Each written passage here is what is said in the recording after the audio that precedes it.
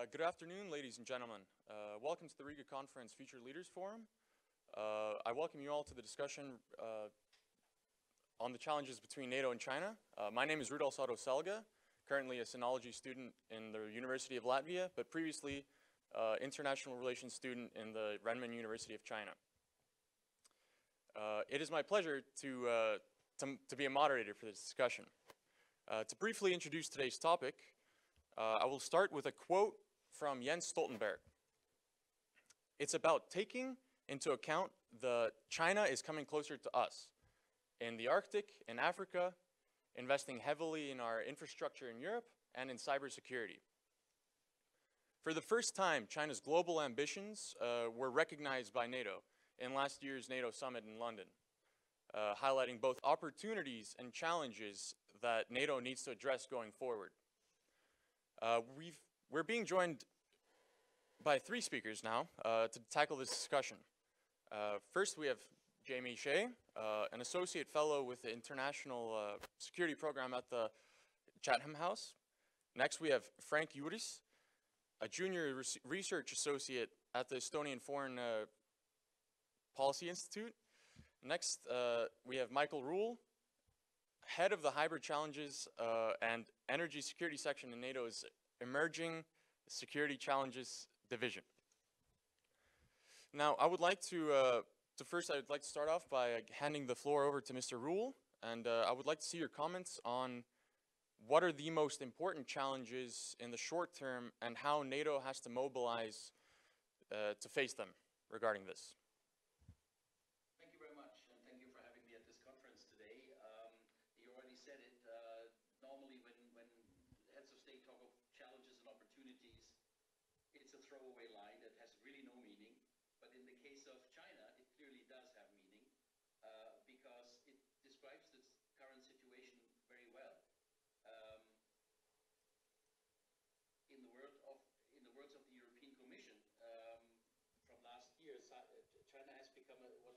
systemic rival. And that's quite quite strong language from from the EU Commission. Um, and I think uh, um, uh, this, this this tells us something. And at the same time, uh, China is a major trading partner and will remain a, ma a major trading partner for most Western countries.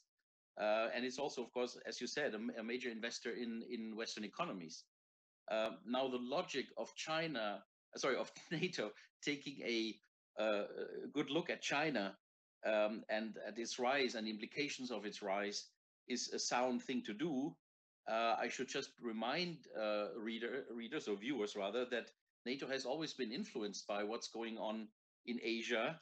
It was, after all, the Korean War in 1950 that put the O into NATO, that turned the treaty into a real venerable organization. So clearly, there was always a link of sorts between uh, what was going on in uh, in Asia and what was going on in Europe. Um, today's attempt of understanding China better is, I think, a major opportunity for uh, uh, the allies to align their positions vis-a-vis China. I don't mean on each and every detail, but on, on at least some basics in some core areas.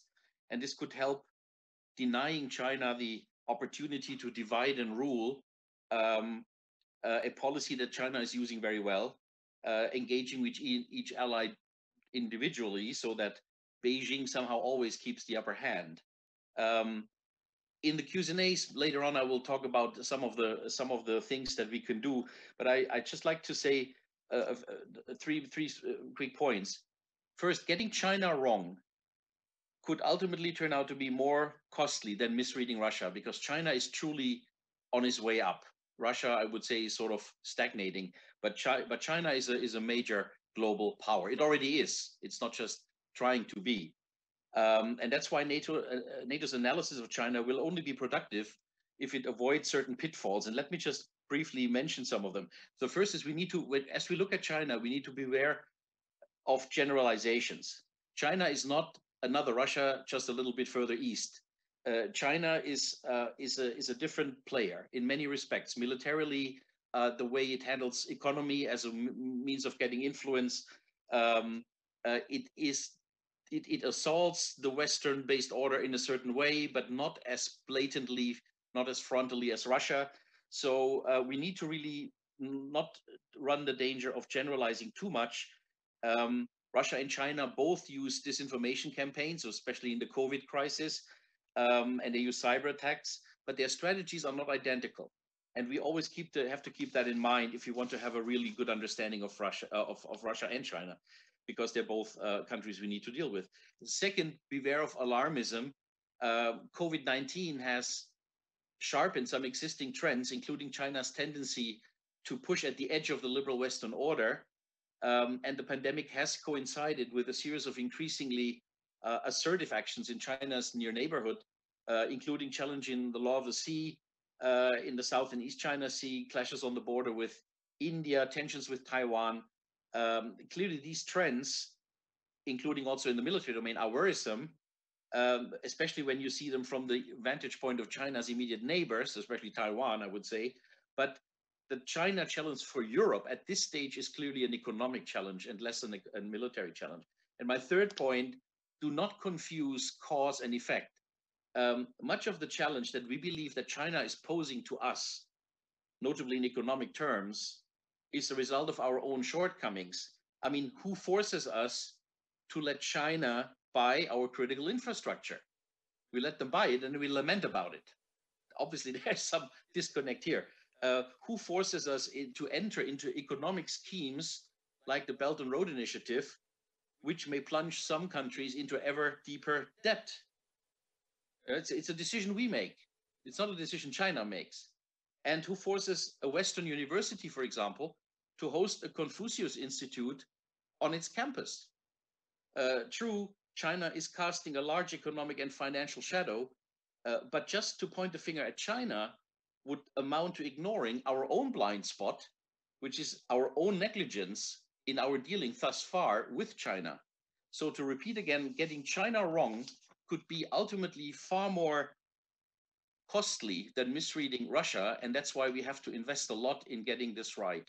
Thank you very much. I'll come back on some issues in the Q&As. All right, thank you.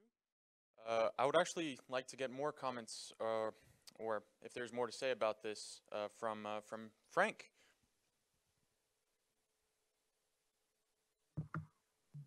Thank you. Uh, I would like to start with uh, describing what kind of a challenge does China pose.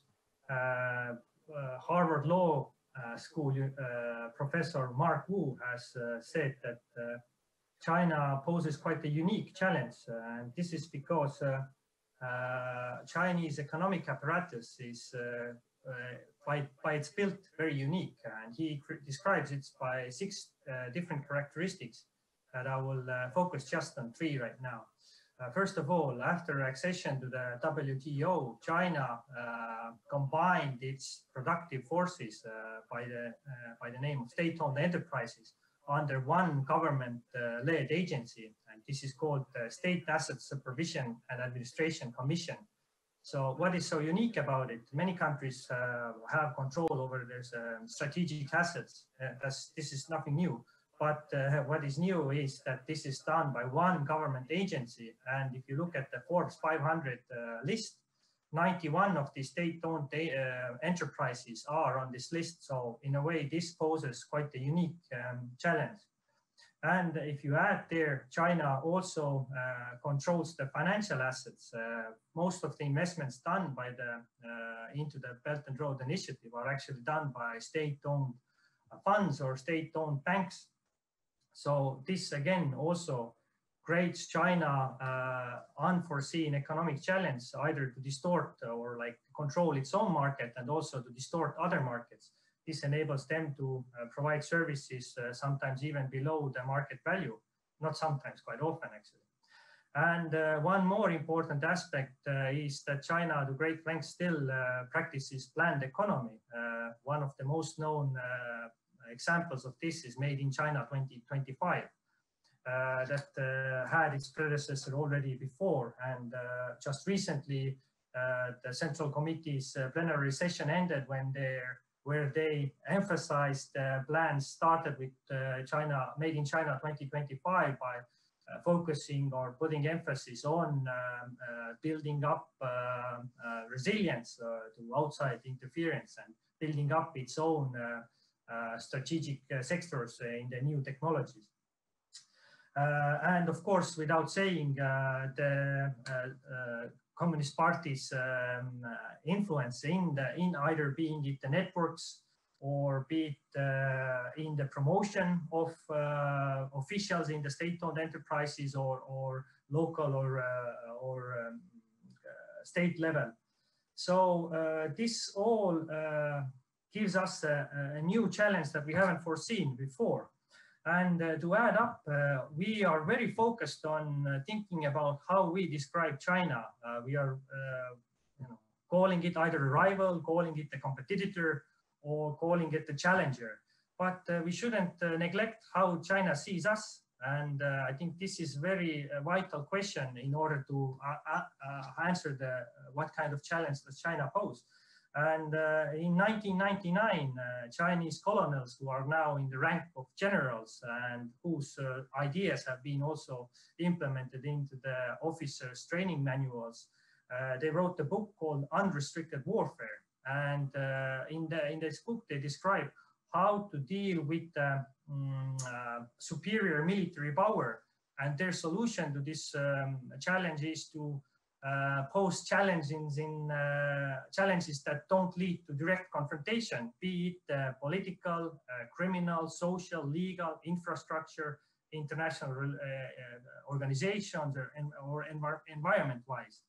And I think this is this is in a way what China has been implementing. If we just think about the infrastructure, and um, I have I have received research myself two examples from the Nordic Baltic region. Uh, be it, uh, one of them is the Helsinki Tunnel, and the other one is Arctic Connect underwater um, cable system connecting Europe with Asia.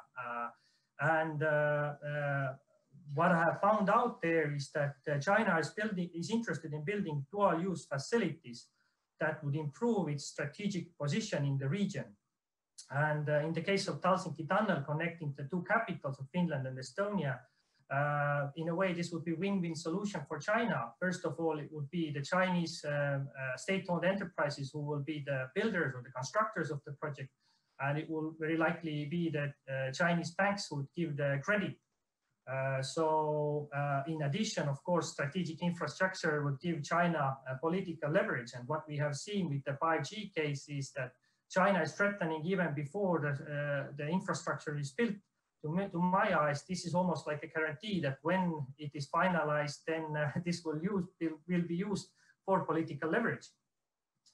And uh, one more important aspect of it is the uh, uh, Ch Chinese Defense White Paper 2019 that stated that uh, China needs to build up blue water capabilities to protect its interest uh, abroad uh, uh, and you know, China already has stakes in 12 different European ports. So this is a clear um, sign that China is interested in protecting its interest. Of course, it can't do, it can't build military bases here, but it can very well uh, use the uh, ports that it already has stakes in. And uh, to sum up or very quickly describe the other project I mentioned is the Arctic Connect. Um, uh, and uh, Arctic Connect is meant to connect Europe, European, European internet users with Asian internet users by building an underwater cable, data cable network um, to Asia. And uh, this is very particular case because in 2015, uh, Finnish state-led company Cinia is promoting it, and it was uh, um, it was uh, the platform for building it uh, is already chosen. It's Huawei Marine Technology. It's a sub branch of of Huawei. Huawei technologies. And this poses a serious threat because it will hinder our data protection capabilities because according to the Chinese legislation, Chinese companies have to uh, give access to Chinese intelligence um, agencies. Uh, it will improve uh, China's mm, data protection because the information, big data that moves between Europe and Asia will go by the cables that it controls by itself. And in addition, it will enable uh, China put, to put into use the uh, to put into use the uh, dual use capabilities they have been building in underwater surveillance because these uh, cables itself can be used for monitoring submarines. Uh, thank you. All right, thank you. Uh, and next, I would like to hear some comments uh, from uh, from Jamie, if he has anything to add or something new to offer. Well, if, if I didn't, uh, you would have wasted your time inviting me to participate in this panel today. Uh, first of all, thanks very much for, for, for the invitation. Uh, really good to engage with my dear friend and former colleague Michael again, to meet Frank, to meet your good self. Um, I have uh, three uh, particular challenges to outline and very briefly, three uh, policy responses. Um, the challenge is, first of all, are China's increasing presence in our space, whether it be our technology space, our energy space, our political space, uh, here in Europe. Uh, both Michael and Frank have described this very eloquently, uh, but China is now with us. It's a player. It's in the Arctic, it's in the Mediterranean, it's uh, selling uh, weapons to uh, Serbia. Italy is the first G7 country to participate in One Belt, One Road. Uh, these uh, various forms of dependencies have been well documented. We've had the Huawei 5G debate. We now have the EU looking at uh, foreign direct investment screening for Chinese in, in, in investment, uh, uh, for instance. Uh, we look at Chinese influence over our critical infrastructure. Frank has referred to the Chinese ownership of European ports and terminals and hubs and transport networks and, and, and all the rest. Uh, of course, uh, the question here uh, for the Europeans, uh, as with the Americans, but more for the Europeans, is you know, where is this the free interplay of globalization? Everybody wants to sell things to everybody. We want open markets. We want an open investment climate. Uh, we need access to the German, uh, to the Chinese market. BMW and Mercedes know that better than, than, than, than anybody. But where does it become uh, a potential tool of uh, hybrid warfare, of coercion, of leverage that China, for example, could exploit in a crisis. So where do we draw the line there? Uh, how do we balance the three C's of uh, cooperation, which we need. Uh, we don't want to make China into an enemy if we don't have to. Uh, how do we balance that with cooperation, with competition because uh, uh, we can't contain China. We need to uh, compete with it. But how do we confront China? I don't mean confront in a military sense, but where do we push back where we really believe that China is abusing the rules and interfering uh, and uh, uh, basically threatening our security? so that, that's the first basket of issues, which the European Union, as Michael rightly said, has woken up to over the last year by declaring China as a systemic rival. Um, by the way, those uh, uh, worries don't apply only to China. Germany recently stopped an American company from buying one of its uh, pharmaceutical companies, CureVac, but, but China is the biggest player in that particular economic domain at the moment. I think the first, second thing uh, in terms of a challenge, and I'm also speaking from a NATO perspective, I could speak from a, a British perspective or an EU perspective, but today I'm taking NATO uh, because that's the theme of the panel. It's the uh, increasingly uh, important military and strategic relationship between China and Russia, uh, because Russia obviously is the adversary of NATO. There's no sense in denying that.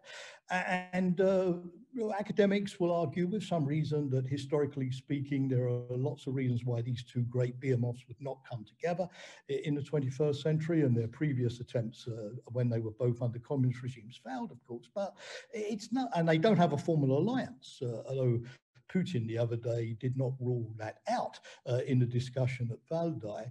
But it's clear that to the extent that, the, that China is giving cover to Russia in its geopolitical ambitions, particularly in the Middle East, in Africa, or to the extent that Russia is giving cover to China as it pushes into the South China Sea or vis-a-vis -vis Taiwan or does other things. In other words, to the extent that their perception of their partnership emboldens the other to take more assertive and more risky action, uh, then obviously obviously it has to be an issue for NATO and it's something that we have to carefully track. There is no sign at the moment, uh, not, uh, uh, notwithstanding some skepticism about the long term and the fact that Russia clearly is going to be the junior partner in that relationship, but there's no sign yet uh, that that uh, partnership is breaking up. They've just held a number of recent exercises uh, and the like. Um, I think the third issue is clearly, uh, and no prizes for, for, for, guessing this, it's the fact that China is now increasingly confronting what we, I say we as a former NATO official uh, in, in, the West, think of as the liberal democratic rules-based international order. And there's this increasing realization, which is somewhat disappointing and very sobering, that, that the hopes that the China would have a peaceful rise uh, and would continue to invest heavily in a rules-based order, of which it's probably the greatest beneficiary when you think of trade and investment lifting so many hundreds, hundreds of millions of Chinese out of poverty. There's a perception that that simply isn't going to happen uh, any longer. China is going to challenge that order uh, as much as it will seek to uphold it, uh, or it will at least try to redefine some of the rules. And I think, you know, in, in many respects, you know, the, the COVID 19 period uh, has really shown so many signs of that. You know, we, we've had this rather assertive Chinese propaganda campaign to assert the supremacy of authoritarian systems in dealing with, these kind of shocks like pandemics. Although it has to be pointed out that just over the uh, East China Sea is a country called Taiwan with 23 million Chinese people, which so far has had 10 10 uh, deaths from COVID-19. So uh, I don't personally buy the narrative that authoritarian states are, so much better, but obviously the US election campaign and the bad year that the United States has had with uh, uh, racial tensions, with the fallout in the economy, uh, the COVID crisis, the very polarized election campaign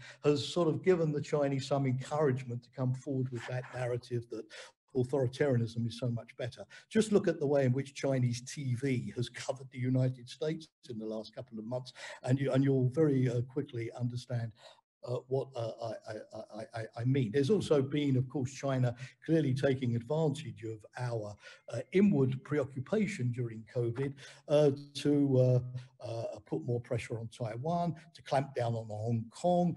today in the BBC, we've just heard that more Hong Kong MPs have been thrown out of the Parliament and, and, and, and, so on. It's mistreatment of the Uyghurs and many other things. And this rather aggressive so-called wolf warrior did di diplomacy, uh, which shows also that uh, for the first time, China's been much more active in disinformation and hybrid campaigns. Uh, it used to leave these to Russia than it's been uh, in the past. So much so that, by the way, 73% of Americans today, according to the latest Pew Research survey, now see China uh, as, as, as a uh, threat. Um, but if that is the case, uh, then what are my three responses? Uh, and I think from a, NATO perspective, these are all going to be uh, difficult and challenging. The first thing is that we can't deal with uh, China the way we dealt with Russia during the Cold War. We can't contain China. Uh, uh, we need China as an economic partner. It's uh, by far the quickest uh, country to recover from COVID-19 and many of our hopes of relaunching our economies next year depend precisely on engaging China uh, econ economically. Um, so in other words, the tools that NATO used, essentially, you know, military patience and containment uh, uh, during successfully with Russia, aren't going to work here. So this is not sort of Cold War redux. Uh, in, in order to deal with the Chinese challenge, we need artificial intelligence. Uh, we need 5G, we need quantum computing, we need robotics, we need uh, life uh, sciences, we need to improve our education system, we need to improve our infrastructure. The answer to the Chinese challenge is to outcompete China. And uh, if you look at the West at the moment, particularly the United States, it, it, here, particularly in educational achievements, for example, in science and technology, uh, in investment, it, it's here that we are not looking too good. Now, of course, the challenge for, for NATO in, in, in, in this respect uh, is that uh, you know NATO is not necessarily a big player in, in, those kind of issues. You know, the glory of the Cold War was NATO was in the front seat. It provided the answer to an essentially military problem. But if NATO doesn't have much to say on artificial intelligence, 5G, life sciences, infrastructure, science and technology, education improvements, my sense is that it won't have a massive amount to contribute on this particular discussion. So in other words, the challenge of China for NATO is NATO has to see how it can add value to this overall Western effort, which I'm convinced Joe Biden is going to bring to the table very, very soon after his inauguration, where it's not going to be in the traditional NATO role of being the leader you know, as it is with Russia uh, at the moment in terms of uh, reassurance. The second thing is that what China is doing is challenging the liberal democracies. It's saying that our model is superior to that of the liberal democracies and therefore, the only way to cope with the Chinese challenge in the long run, particularly vis-a-vis Africa, the Middle East, uh, the developing world where China is expanding its influence, is to demonstrate that the liberal democratic model delivers the goods. It's better uh, on all fronts, not just human rights, but economic prosperity as well. And here, unfortunately, look at the United States, look at you know populism in the EU and elsewhere, uh, our values, our cohesion. We haven't been looking too good recently. So how we fix our internal problems is ultimately far more, in my view, than in the foreign policy realm, going to be the key for how we handle the challenge of China. Third and final point, we need to engage China if we're going to solve some of the more global issues, uh, which Joe Biden has announced are going to be one of his priorities. You know, fixing the pandemic, well, we need Chinese vaccines and science uh, uh there uh, too. Uh, fixing global climate change, where China is now the world's uh, largest emitter, but has also been working very heavily on this issue. We discovered, for example, in NATO just a few years back that dealing with piracy in the Gulf of Aden brought us side by side with Chinese military vessels, which were pursuing exactly the same uh, uh, uh, objective. And of course, you know, don't have time to talk about this now in our introductory remarks, but the whole issue of trade and intellectual property and access and all of these issues, because as I said, uh, we are not going to recover from COVID if we lose our access to the Chinese market and to Chinese money and to Chinese economy and the Chinese economy. So how you compete uh, and uh, to some degree contain uh, but cooperate at the same time. It is going to be a challenge which is going to put a massive premium, uh, not just on US diplomacy, but on NATO diplomacy. Like Michael, I've got uh, some ideas about, more specifically about what NATO could bring to the table here, but I'll leave those for the uh, next round of the discussion. Thank you. Thank you. Uh, I'm glad you touched up on uh, the topic of cooperation, as we've mostly been hearing about how China's a threat and uh, how we have to deal with them as a as a as a as this superpower that's that's going to overshadow us. And uh, I'm glad you mentioned the I think it was Ocean Shield it was called where we we touched uh, with with their navies to to deal with piracy. Um, I would actually like to uh, to next have a ask Frank uh, what he thinks about uh, the topic of Sino-Russian relations as as we've we've touched upon this already that that Russia and uh, China have, uh, they're doing military exercises all over, even including in the Baltics, and all the while they might not have uh, any any uh, uh, treaties together or anything. Uh, what does this mean to NATO? And since since NATO is NATO is basically made to deter Russia or the Soviet Union, what does this mean for NATO, and how should NATO deal with this specific problem? Uh, sorry, I, I, think I lost uh, some parts of your question because there was a malfunction in the or like the connection problem. But uh, I, as I understand, the question is involving China-Russia relations and how it affects our region. So uh, I will uh, I would first state that I, I, think the first alarming bell for us was 2017 when China and Russia held a joint uh, navy exercise in the Baltic Sea. So uh, this goes without questions for the Baltic uh, states. Russia is perceived, uh, regardless of China's rise, as the primary adversary and uh, primary threat that assessments are all involved uh, are focused on on Russia. So I think there is definitely willingness between these two to cooperate. Uh, and as was already mentioned before, uh, both of them are interested in um, how to say, building up their uh, operation space in their regions and, and, not only in the regions globally. so they are both interested in challenging the current world order or, or, the norms that, that are present. And uh, other thing I would also like to point out that uh, if uh, uh, Russia and China are interested or are showing willingness to go develop the Northern Sea route, uh, as we know, this is uh, for Russia a big uh, security concern because very few people live there and this is an enormous territory and the infrastructure there uh, has been desolate uh, after the Cold War. So uh, willingness to cooperate there, and not only not only in transit or traffic or I mean like trade wise, but also in scientific terms this is definitely a big sign. And uh, one example, every time these uh, COSCO ships or trade ships uh, travel there, they can also collect data, uh, improve the navigation capabilities, uh, uh, the ice movement, and so on. And this uh, this can be also put into use for military-wise. Uh, uh, as we know all, this Arctic or polar regions are geostrategically very important. missiles launched there will reach any place any place in the northern hemisphere the quickest. So I think there's serious concern and serious, um, uh, we should pay attention to it. Thank you. Uh, we already have some questions coming in from the public. Uh, the first one being, what are the chances that Taiwan or Japan become NATO members? And I, I assume this means uh, same with uh, Mongolia and Korea, New Zealand, and Australia. Uh, Japan already being one of them. Uh, would this be Taiwan? How could would it be able to join in some way, shape, or form with NATO? And I'll pass this on to Michael. Well, if you look at the Washington Treaty Article 10, it speaks of every any European country being able to apply. So that's a bit of a stretch to go all the way to uh, the Asia Pacific. Uh, I think for um, these countries, the solution is partnership and non-membership. Uh, partnership being, um, of course, a very flexible concept. Uh, you can, and we are, uh, uh, I think, deepening our partnerships with countries in the Asia Pacific already.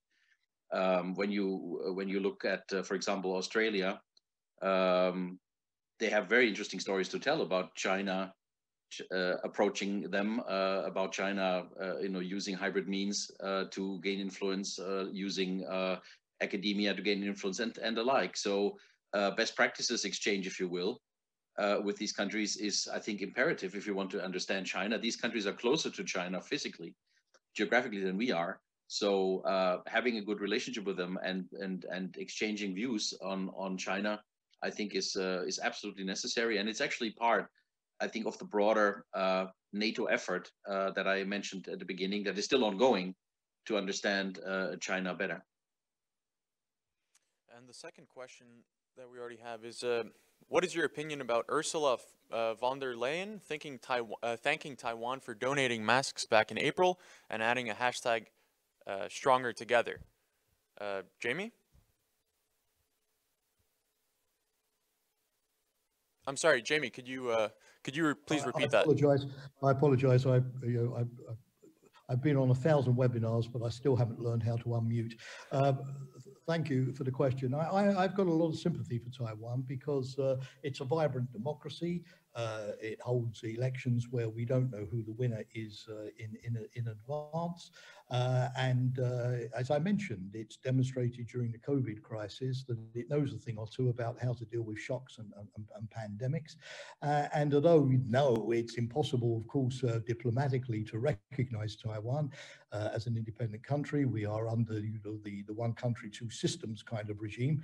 although we discovered that the Chinese don't necessarily, respect that when it comes to Hong Kong, uh, but still, uh, we have to do what we can uh, uh, to help uh, the Taiwanese, I think, below the radar screen of formal recognition. That means to say it's probably not possible for Ursula von der Leyen herself to make a sort of state visit to Taipei, but the United States has shown recently by putting other uh, members of the government outside the security apparatus, uh, sending them to Taiwan, that uh, we, you know, we send a signal to the Chinese that we are looking at what's going on, that we're mindful, and that we can push back uh, when they try to exert pressure, for example, by organizing rather aggressive military exercises or sending their jets into Taiwanese airspace that has happened uh, recently. Uh, again, like Michael said, I think we have a lot to learn from these Asian countries, particularly about Chinese Uh, methodologies, uh, uh, the impact of Chinese investments and trade,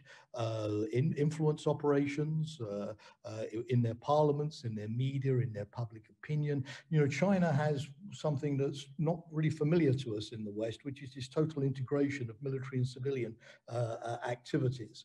Uh, uh, all on behalf of the uh, the state and how you deal with that kind of uh, model. So, so although we can't have a, a, a, formal dialogue, maybe not in NATO, even have Taiwan as a formal partner in the way that we can have with the other countries.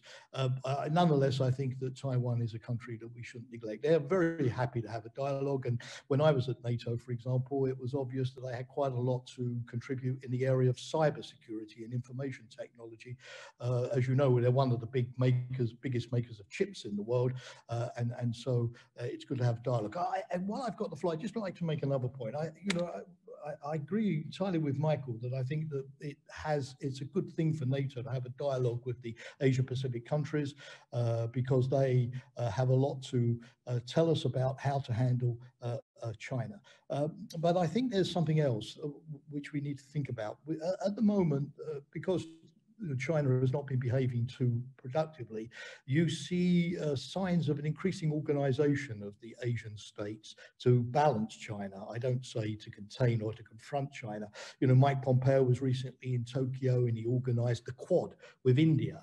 Uh, and now Japan with Australia, United States, uh, and you see other uh, things going along. And, and, I don't think NATO would like to see in the Asia Pacific the kind of Cold War dividing line of two armed camps that we had to live with in Europe for so many years. So while it's important to see, you know, how we have more regional cooperation to uh, balance China and, and, to uh, establish sort of, uh, if you like, red lines, I think it's also important to help the Asian countries to learn from NATO's experience, which was successful uh, even during the Cold War, about how you also reach out to adversaries, how you construct a military to military dialogue, how you build confidence building measures, you know, all of the things that we associated with the Organization for Security and Cooperation in Europe, you know, how you reduce tensions and, and build trust. Uh, you know, I, I don't think it's in our interest to sort of, as I say, alienate China and Russia into some sort of opposing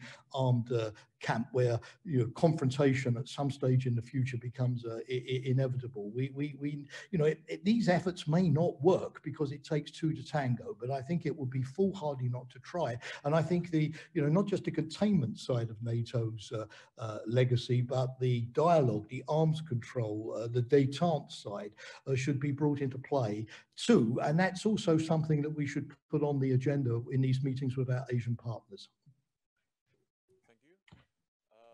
Next question, and if, if you, would like to answer this one, you can raise your hands. Uh, as China's important partner of NATO states, how to keep how how should we uh, how to keep balance between developing uh, beneficial cooperation and, and deterring Chinese ambitions to enhance influence?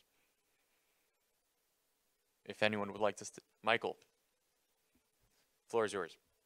Thank you. A couple of points. Um, first of all, let me say I agree very much with Jamie's point about this is not all about containment. Uh, this is uh, this would be futile. I think this is not, as I said before, it's not Russia. This is a different, a very different ball game. But I mean, um, and I also agree with Jamie that this is not just about military power. Um, China is already here, and it is it is a, an economic reality, and we all have to sort of make make uh, make up with it. And here I would say, looking at what we are discussing uh, at, at NATO right now, for example, uh, if you look, if you use NATO or the EU, if you use multilateral fora as a, a tool uh, to, for example, look at China together, for example, seeing, de detecting eventual patterns, for example, of industrial acquisition, uh, change uh, national best practices um, in, in denying certain things to be sold to China, as Jamie mentioned already. Uh, uh, for example, identifying fake companies, um, uh, we we need to to see how we can we can um, keep companies from being sold to to to China that we don't want to get sold. Uh, I think we have seen in the anti-corona lockdown measures in our own country, we can rise above the you know narrow-minded economic uh, uh ideas because we think there are other things that are more important, like for example our health. So we've already shown that we can we can do differently if we if we have the guts to do it. Um, strongest uh, uh, uh, cyber defenses. I mean, a large part of what China is doing in terms of cyber is espionage. It's industrial espionage, very well known. Um, and so, if NATO can be used, uh, you know, uh, through its cyber policies to uh, create more awareness, also in in in um, in its in its member states for the for for better cyber hygiene, if we will, um, this is a big a big issue that we're looking at. Like communications. Sorry. Frank would like to intervene sorry, if I just may I just finish? Yes. Just just after two, after the sentence. Sure. Uh, uh, communications. Uh, nobody prevents us from calling out bad behavior. Uh, you know, if we disagree with what, what China is doing, we should say so, and we should say it not only to China. We should also say it so that our and this comes back to what Jamie just said. We should say it so that our Asian friends hear it as well you know uh, it's it's we are not happy with something we we stated and we point our finger at the at the culprit. This is part of how you deal with hybrid aggressors in any case. So in other words um, and the last point maybe over time and this discussion has already started in the covid context reduce your dependency on china in some key areas. We cannot get out of globalization. China you know we want to sell stuff to china. It's a big market. But there are certain things where we in this for the sake of our own policy and for the sake of our own economy and for our own health may have to rethink how dependent do we want to be on China in the future. So there are things, none of them are military, but there are a lot of things where we can do better. Our own behavior determines, I think, to some degree, how influential China will be in Europe. Thank you. Frank, uh, you wanted to comment?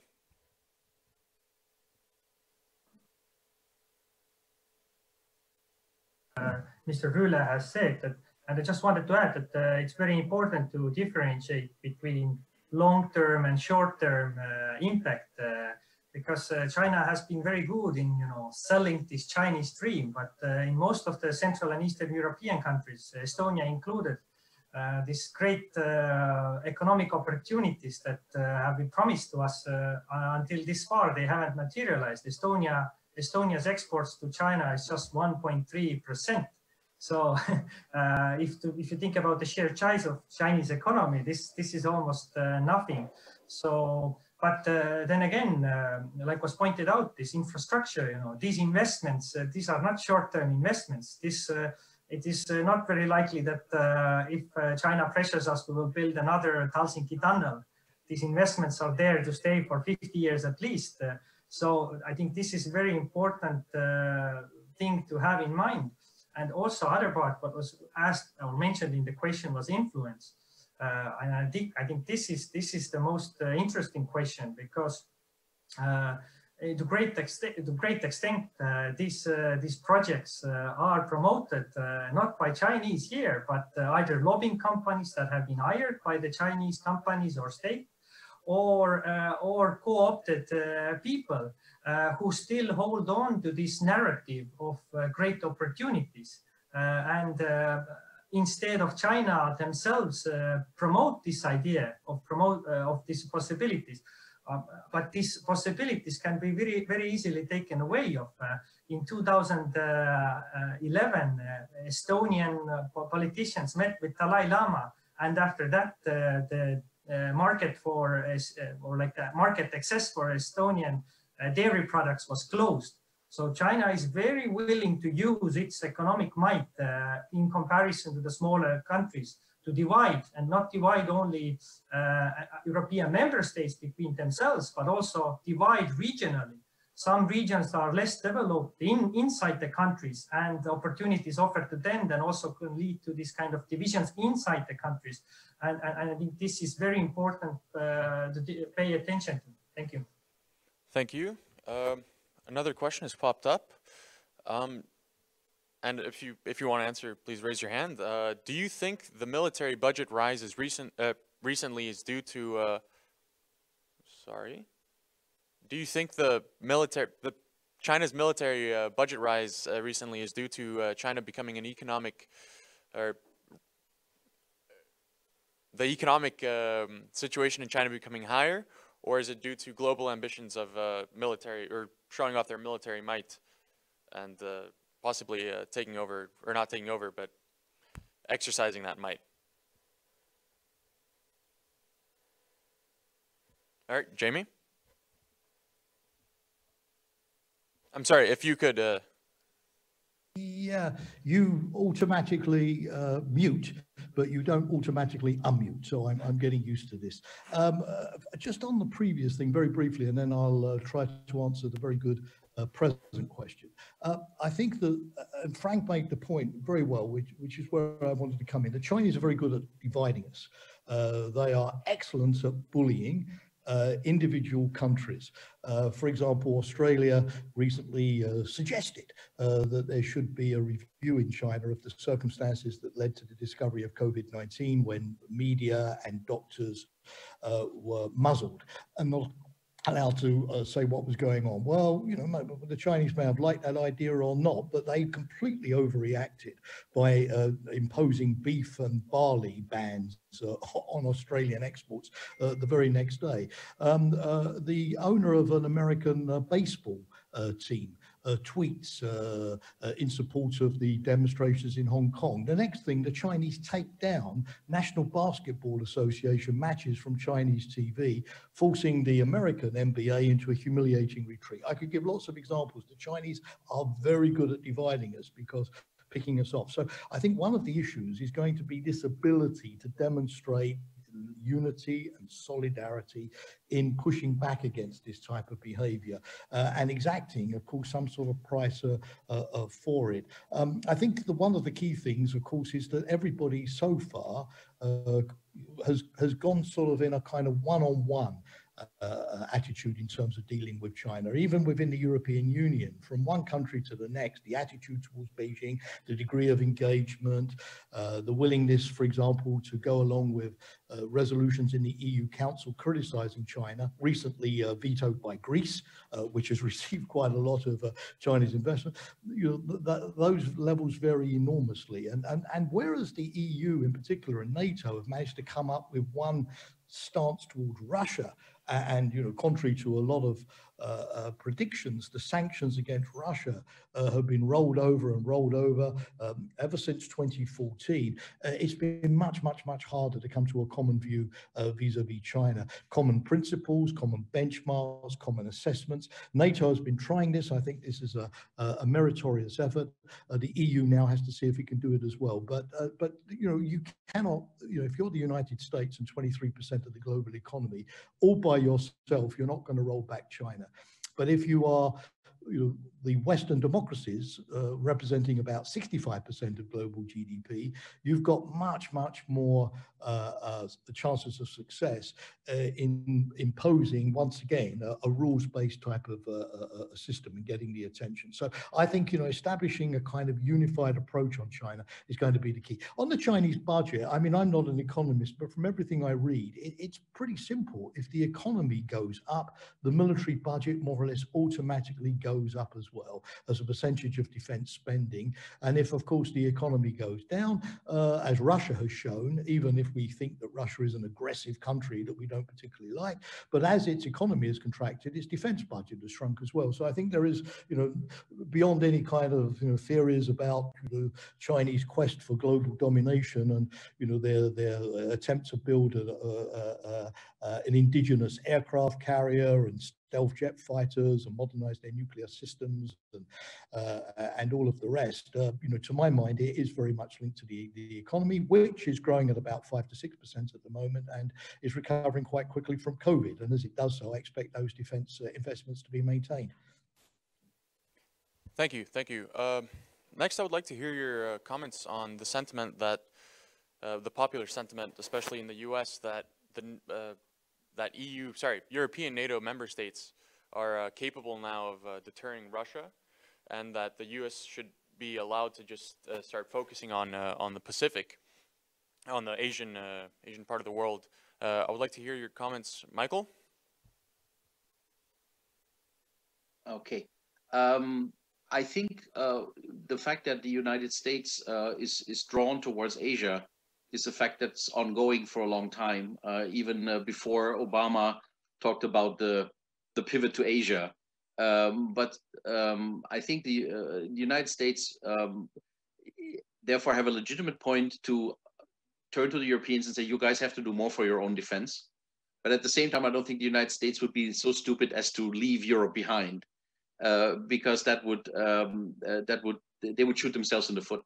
Uh, Europe is not intrinsically stable. Uh, Europe is uh, not uh, a place that, out of its own devices, I think can can balance a let's say an assertive Russia. Um, you would always need, I think, a, a superpower like the US be involved it may not be, uh, and it has shown since the end of the Cold War, it doesn't have to be involved with hundreds of thousands of troops in Europe as we used to have in the Cold War. But I think uh, you will always have a, a small but very effective American uh, presence in Europe.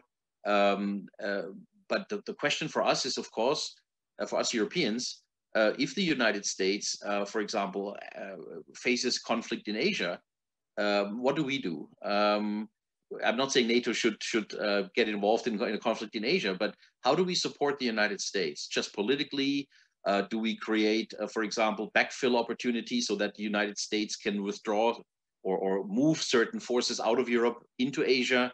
Uh, so can we then, you know, replace these forces that are going away? These things, I think, are ultimately the, the crucial military parts of the equation. Uh, not NATO in Asia, but uh, how can we support the US and maybe one or two or three other allies uh, in, in Asia, uh, mindful of the fact that many of our own allies have hardly any navies worth speaking of. So uh, how can we cope with the United States that rightly, in my view, legitimately looks more towards Asia? That is, I think, the key question. Uh, and I hope that our discussion on China will also lead to uh, uh, also allow us to answer that question. Uh, if anyone would like to comment on that, that last sentence. Uh, Frank? Uh, if you could unmute your mic. Oh, sorry. Uh, okay, I'm, I'm muted now, yes? Yes, yes. Okay. Uh, I uh, wanted to add, like, uh, on the how serious military power Europe Europe is. I think it was a matter of days when um, the European forces ran out of ammunition, ammunition in the Syrian war. So this this is already a very bad sign that we are not very uh, capable of uh, protecting our power.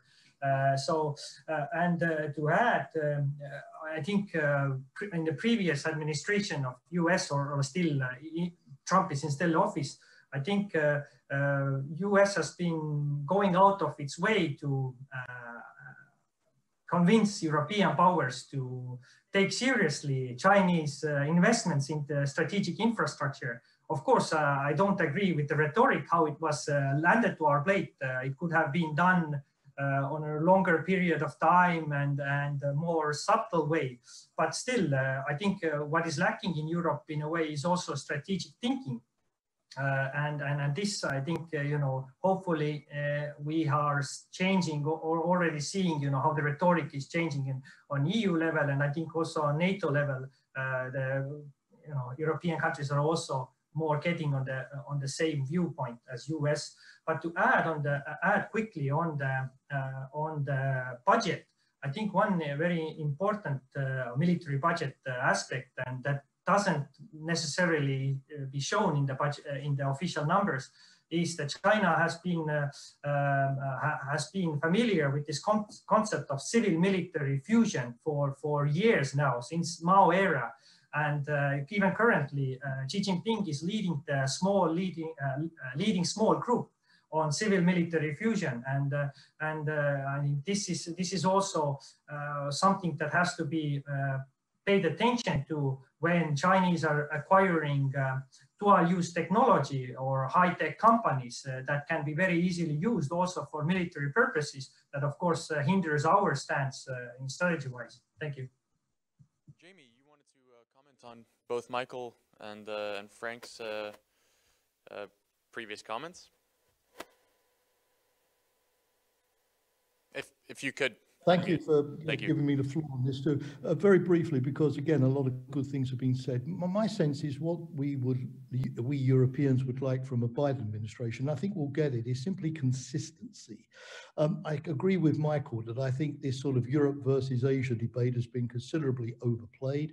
Um, the US has been engaged in Asia uh, since the end of the 19th century. It already has considerable forces in Asia, in Japan, in, in South Korea, uh, uh, uh, Marines in Australia, uh, and, and, and the like, uh, and a, a major fleet and naval uh, uh, presence. I, my sense is what, what happened over the last couple of years of the Trump administration is we just simply had uh, a degree of incoherence. One minute Trump was investing more money in infrastructure in Europe and deploying troops in Poland. The next minute he was pulling money away from those funds to build the wall with Mexico, or, or rather against Mexico, uh, and also uh, threatening to pull 12,000 troops out of Germany, not because there was a strategic plan, but because he wanted to punish Germany for not spending enough on, on defense. Similarly with Asia, though, one minute Trump was talking about deploying more forces in Asia, the next minute he was threatening to pull the US forces out of South Korea, because again, South Korea was not uh, being prepared to quadruple its uh,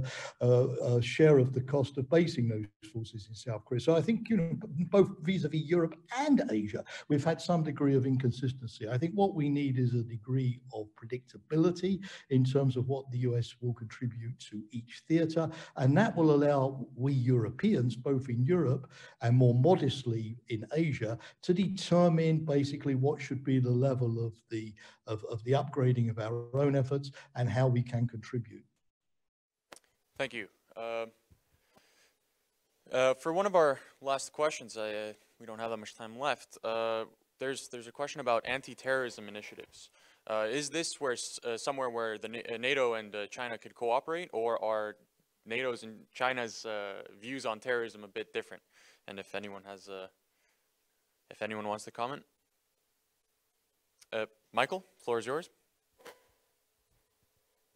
Um, I think that um, while discussing uh, counter-terrorist uh, uh, approaches may not be a, a bad thing to do, I wouldn't pin my hopes too high. I mean, we've had, uh, this was already mentioned by others, we've had a cooperation with the Chinese uh, in maritime domain, in the in the counter-piracy domain. We also had discussions with the Chinese, for example, on uh, Afghanistan uh, when when NATO had a sizable contingent there, and of course China wanted to know what what we were up to. That's a legitimate uh, concern. Uh, but, but on terrorism, um, I think the issue is is uh, NATO's role in counterterrorism is quite small, um, and uh, therefore I would I would not see this as a game changer in our relationship, even if we would have a, a dialogue on counterterrorism. Uh, I think uh, our views on on what does terrorism mean would indeed probably diverge quite a bit. Uh, and it has been mentioned earlier the the way we criticize China sometimes for um, for dealing with minorities, uh, which my, many Chinese would probably see as as, as latent terrorists.